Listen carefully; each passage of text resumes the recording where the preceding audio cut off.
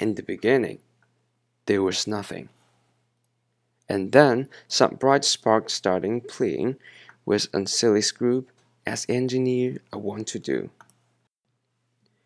In October 18, 1958, William Hagenbuss and Robert Dvorak show off a tennis simulator game they call Tennis for Two, developed on the Donner Model 30 analog computer using an oscilloscope it is the first known electronic game to use a graphic display.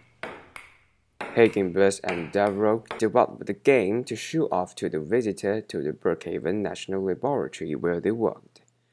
The game was only shown off twice during the laboratory's annual visitor days.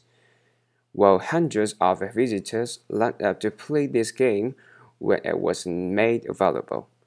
Later was known about the game for decades while somewhat similar in gameplay to the later Hit Pong, there's no non-director's relationship between the games. Space War is a space combat video game developed in 1962 as one of the first games created in the early history of the video games. It was initially designed by Stephen Russell in collaboration with Martin Graetz and Wayne Wynant, and programmed by Russell with assistance from others include Bob Sander and Steven Pena, for new installed in Digital Equipment Corporation PDP-1 mini computer at Massachusetts Institution of Technology.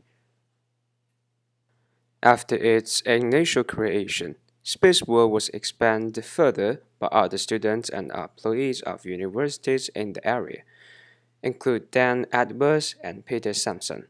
It was also spread to many of the field dons primarily academic installation of the PDP-1 computer, making Space War the first no video game to be played at medical computer installations.